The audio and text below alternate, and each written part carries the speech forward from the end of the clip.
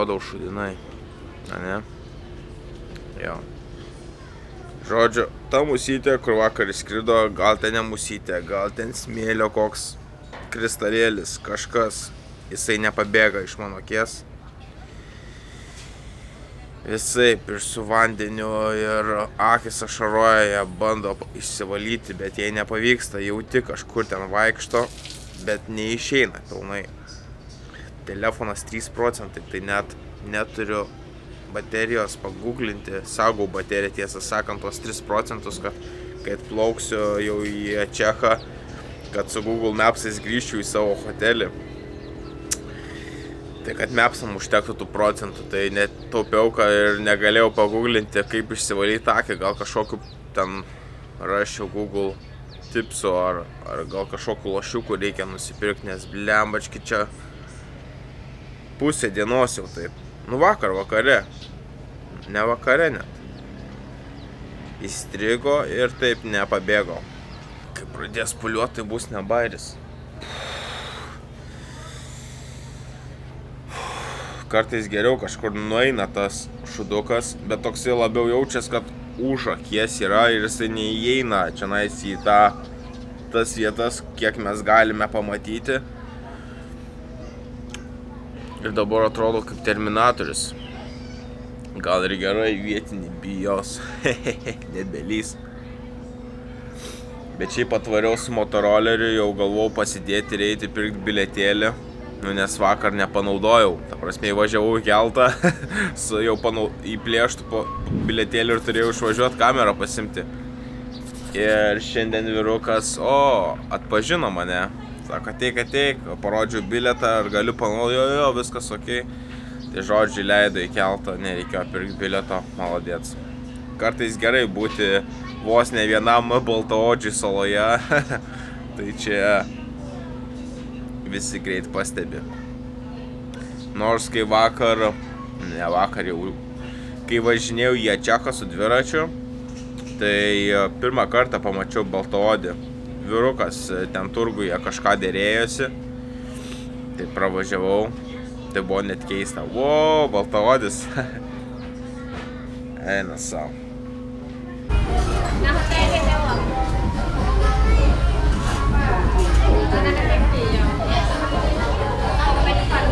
Pusė devynių. Lygiai prieš mėnesį laiko aš pradėjau savo minimo, savo minimą pradėjau. jo, pusė devynių išvykau iš Vytauto namų sausio 15 dieną. Dabar vasario 15. Ir aš su nekokia akimi.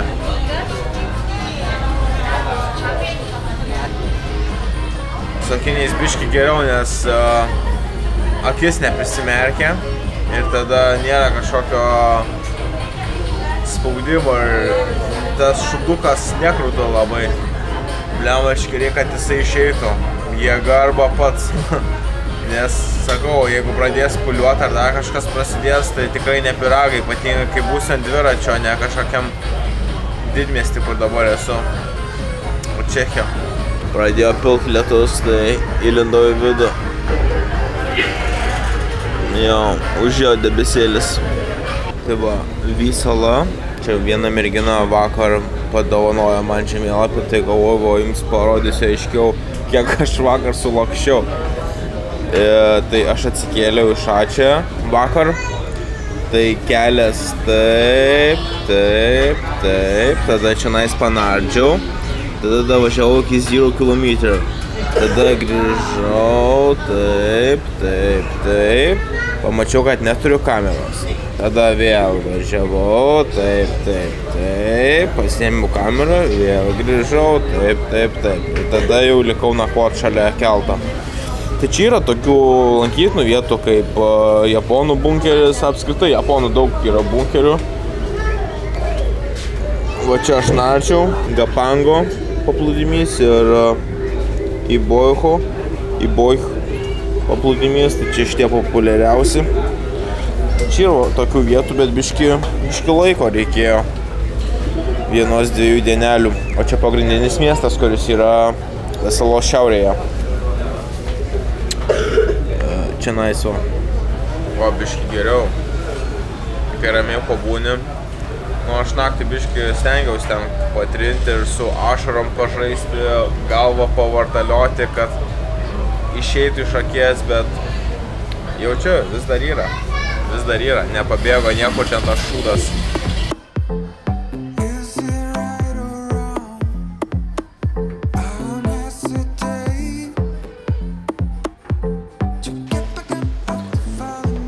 Štai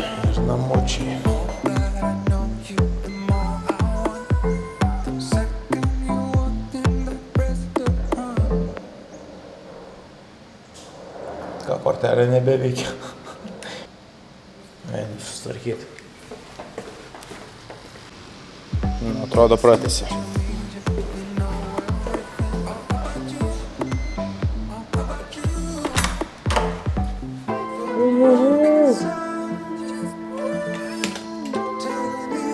Yes.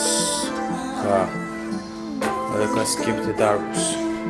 Montuot, tvarkytis. Sadık.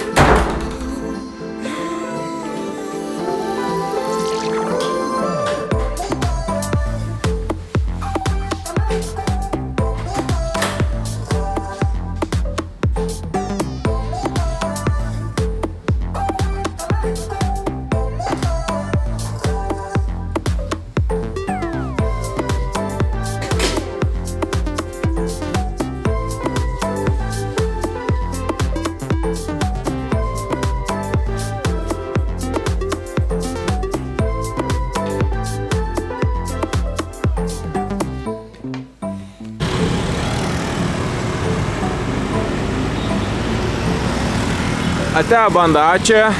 Ate. Buvo smagu, įdomu, bet man reikia traukti toliau. Bičiuliai, dvi kem penkios, be penkiolikos trys, pats vėliausias išvykimas šitos kelionės istorijoje. jo, vėlokai, nu, vandens pasaulį užtruko sumontuoti, o kadangi teko nakvoti kitoje saloje, tai negalėjau to padaryti čia nais vakar ramiai. Tai teko šiandien ryte viską daryti.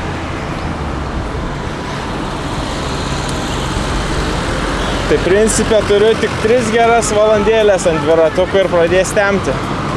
Liudesėlis. Nu bet yra kaip yra.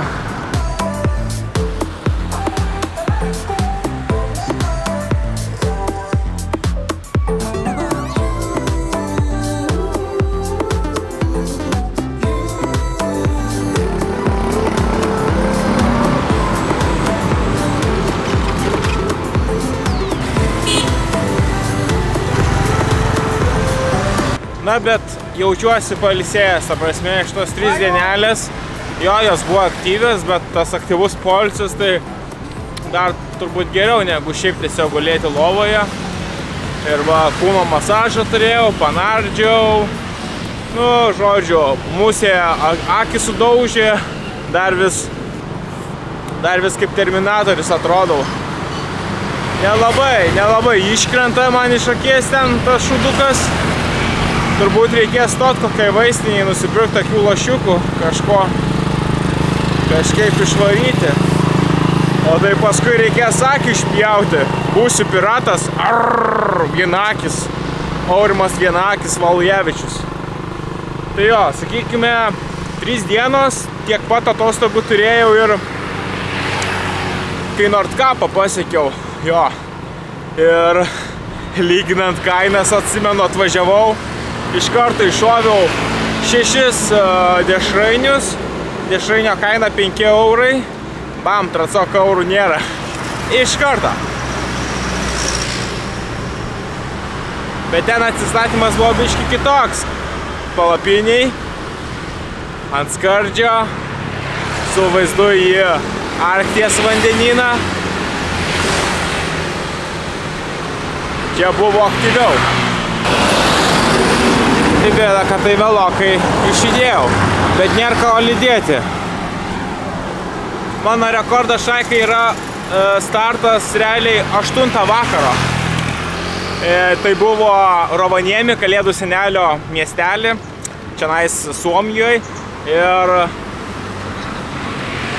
atsikėliau, susimontavau vlogą, užsukau į muziejų, tada užsukau pas Kalėdų senelio miestelį, kuris buvo jau uždarytas.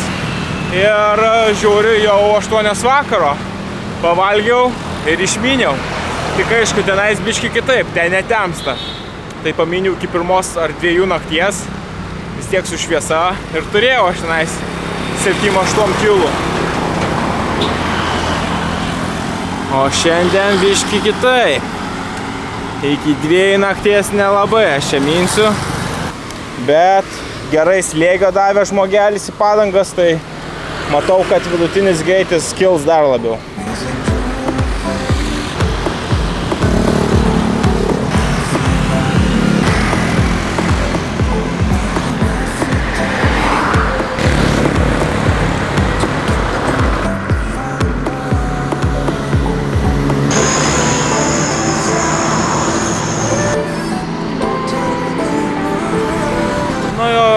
Baigiau palikinėtą Čechą.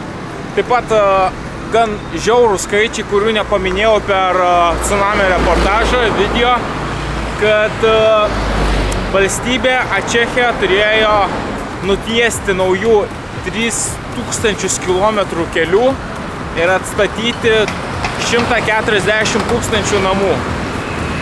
Tokie buvo padariniai po tsunamio 3000 km kelių. Ir įdėjau aš trumpų tokių intarpų iš, iš kitų reportažų angliškų ir man labai tas vienas patiko vyrukas, kur pasakė It's not all what you see, but it's also what you smell. Ką tu užuodi.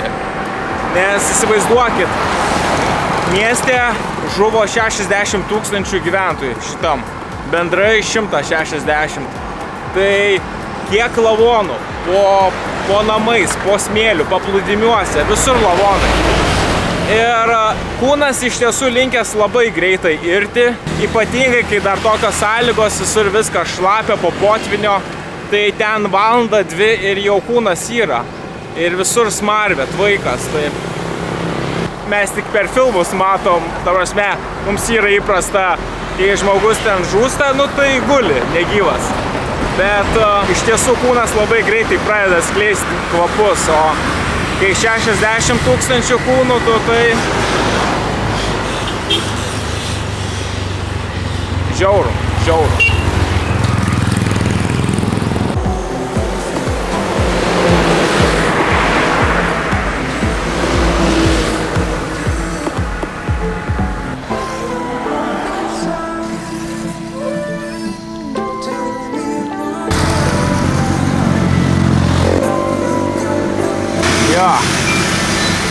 Visus šitos tris miestus aš pravažiuosiu kaip ir.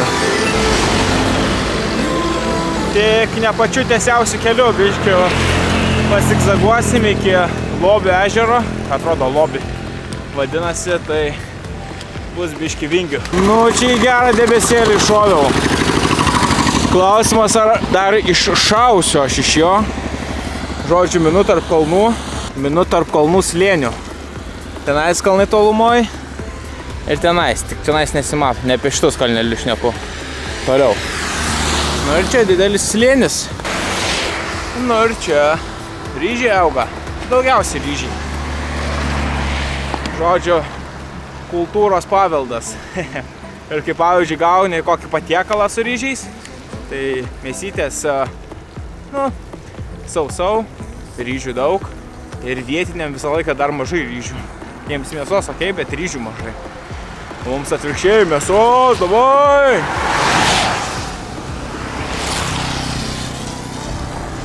Nu gal, gal pabaigs lyti. Prieš statant palapinę būtų gerai, biški sausesniam būti.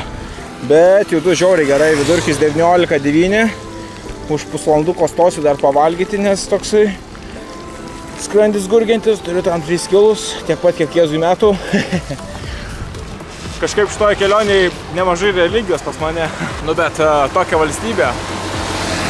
Čia daugiausiai musulmonų visame pasaulyje. Va, gali iš karto rūbus musulmoniškus nusipirkti. Kas jokingiausia, kad net merginos su tom skarelėm ant galvos ir nardo. Užsideda akvalangą su, su vamsdu kur neria. Eina savo, kaip jokingai atrodo. Arba čia žiūrėjau teliką, kol sėdėjau kelte. Rodo tinklinį, jau ten profesionalų lygą, mergino žaidžia. Ir kai kurios irgi su skarelėm ant galvos žaidžia. Blemba, blemba, čia religija koja, koja iš kojos, ar kaip ten tas pasakymas. Netitrūkstantis dalykas. Bet čia kaip žmonės pasirenka, ne visi tokie religingi. Ne visi, bet šitam regione tai labai labai stipriai.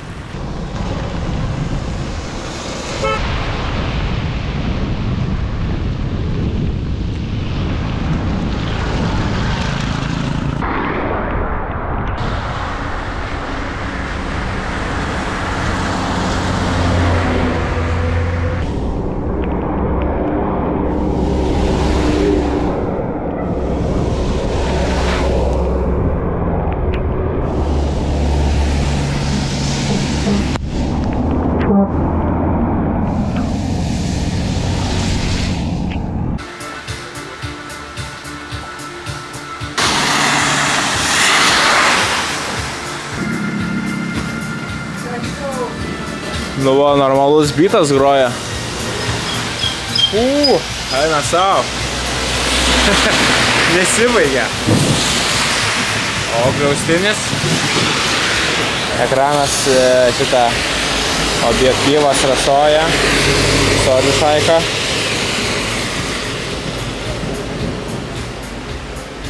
Jo, drėgmės daug ir daug lietaus. Nu bet ką, Atčekę pasimėgavau saulutę pakrantėje, o jau giliau į salą prasidėjo debesėlis, bet toksai, kad jau tęsiasi 30 km. Nuvatolstu nuo Čeko, tarp kalnų ir tam, tame slėnė čia ir maluosi. Ir dar čia, jo, paskui reikės pro kalnus biški pravažiuoti ir link pakrantės jau arčiau. Tai jo, panašu, kad šiandien stipriai, stipriai šlapiai. Goodbye, čia goodbye. Very good. How much? 13,000. Huh? 13,000. 13,000. 13,000. Okay.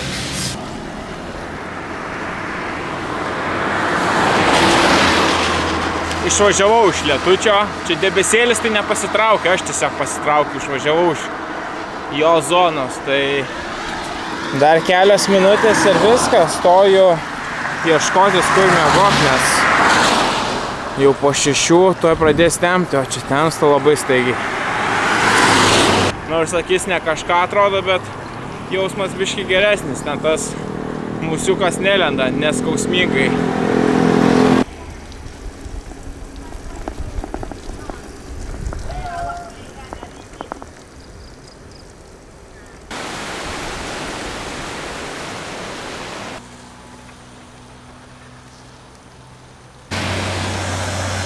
Čionais nusileidus tą keliu galima prieiti prie upės ir kiek mačiau namukas stovi. Gal ten išėjai apsistoti. Pabandom. 2.20 laidas po dešinę.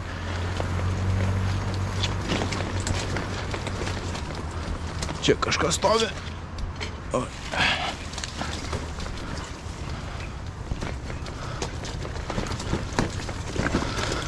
Kinų siena. Panašu, kad čia nelabai kas gyvena. Realiai ir čia galėčiau palapinę nusimest. Bet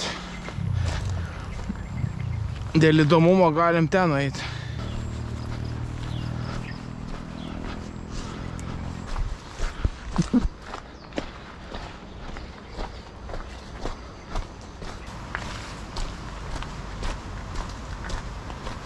Aha. Jo, čia namas, bet visiškai neįrengtas, tušęs. Nu jo, iš mepsų tai čia atrodo gražus laukas.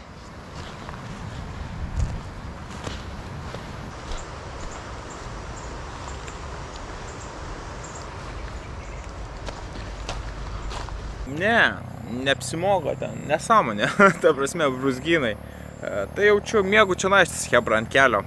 Ant kelio mėgų, nes e, aiškiai matosi, jeigu kas ir čia pravažiuoja, tai vienas kitas gal motoroleris. Ir šiaip man klausimas būtų, ko čia nais važiuot. Nu, kažkoks eina va toksai takelis ir tenais toliau. Parodysim jums. Tai žiūriu, kad čia visai neblogai. Pradžiai galvojau, gal čia nais šalikeliai nusimest va tokį plotelį čia nusižiūrėjau. Bet galvoju, blemačkai reikia pasitikrinti žolės. Tai taip prabraukiau ranką ir bum. Pala, kurie čia nais. Šitie va, bam. Taip. Pirštus apsipjaušiau. Mhm. Tai iš tiesų reikia tikrai tikrinti ant kosta tai palapinė, nes labai greitai gali palaidoti ją. Nu, bent dugną. O šitie va, tai jie nieko minkšti, be, be spigliukų, tai va čia nais toksai plotelis, kur mažiau jų ir nusimesiu su vaizdu į, į džiunglės. Tai šiandien atkeliavau iki, iki zigzagino, rytoj va, čia zigzaguosim link vandenino, tai iki vingio dabar jau, 5-9 kilai per 3 valandėlės, nu beveik šiam kilų, blemba, neblogai. Grandinė sutepta, nauja grandinė, padangėlės gerai užpompuotos ir mano kojytės atsigavusios, tai rezultatas neblogas, sakyčiau. Nu, čia truputį palipėjus atsiveria gražus vaizdas, kalnai. Tai va, už tų kalnų yra visa vakarų Sumatros pakrantė, kurią aš ir myniau. Jo, tai aš už jų apmyniau ir dabar link čia. Tai toks gan, gan aiškus salos reljefas, centras. Nu kaip, negali sakyti. Realiai pakrantė, kalnai, slėnis, kalnai, pakrantė.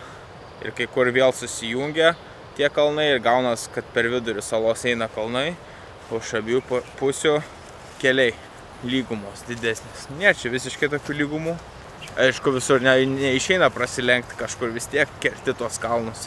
Tik tais, nu, čia kažkaip, nežinau apie Indonezijos infrastruktūrą, kada jinai prasidėjo, bet vis tiek visi keliai stengiamas eiti per kažkokius lėnius, kur, kur mažiau darbo būtų nutiesti kelius ir kur lengviau juos praeiti. Ok, dar mielai paminčiau kokias 3 valandas, bet, nu, dėja, temsta pasikeitė planas, pradėjau čia žiūrinėti ir taip ranka pradėjau braukti grinai per akmenis ir tie spigliukai, tas toksai vijoklis palei pat žemį išsirikiavęs ir blembački nepiragai, nelabai gerai. Daug šansų, kad suplėšyčiau dugną. Tai čia apsižiūrėjau tokį kampelį, nelabai lygų. Nu, tarsi palapinė atrodo kryva, bet per vidurį bus pakankamai ok, tai kaip ir nieko nėra, žolytė tokia. Šiandien vienas toksai aštresnis krūmelis ir tenais toks aštresnis krūmelis prie galvos. Tai va tame tarpe ir bandžiau jį iššaut palapinę. Atrodo bus gerai. Vieną akmenį išmušiau, nes mačiau, kad labai trukdys mėgot. Niuansai. Nu ką, turim puotą šokoladinio pieno litriuką. Nice. Ir mūsų statistika štai tokia. 29 dariau video apie tsunami, tada 30 dieną paplūdimy gaudžiau bangas ir vakar e, nardžiau. Nardžiau, palikau kamerą, bla bla bla. Ir šiandien simboliškai 59. Nu, pabiškis įvažiuosim. Lengva tikrai dienelė, pati lengviausia iš visos kelionės. Niekur nėra 3 valandų. A, yra. Klystu, Hebra, klystu. PM1, 2 PM1, kem 7 kilai prieš laisvadienį. Čia padangė. Iki padango miniau. Jo, trumpiausia diena, o norėjau sakyti, kad šita trumpiausia, visgi klydau. Nu jo, tai judam link, link 2700, rytoj jau bus. Ir manau visai neblogai sekasi. Kažkaip čia nais man vėsiau. Nu, ta prasme, karšta vis tiek, bet tikrai ne taip, kaip tenais pirmosiam dienomis išvažiavus iš Džakartos arba aš pripratau, arba tikrai čia nais truputį vėsiau. Jo, tai dabar, ko tikrai ir laukiu, va, kaip ir minėjau, orugutangų, bežinėlių pažiūrėsim. Irgi, jei neklystų, vienintelė ar viena iš nedaugelio pasaulio vietų. Man atrodo, vienintelė pasaulio vieta, kur čia nais jie auga. Gal dar kažkur, nežinau tiksliai, bet labai mažai kur jie auga, kur jos auga. Tai pasieksiu po keletos dienų nežinau tiksliai, reikės žiūrėti žemėlapį. Paskui medanas ir panašiai. Jo, po truputį judėsim, kaip čia dabar, rytų, rytų pakrantę, turbūt, nežinau. Tai žodžiu, nu, užkandžiaut, vakarieniaut ir ačiū, kad buvot. Susitiksime rytoj.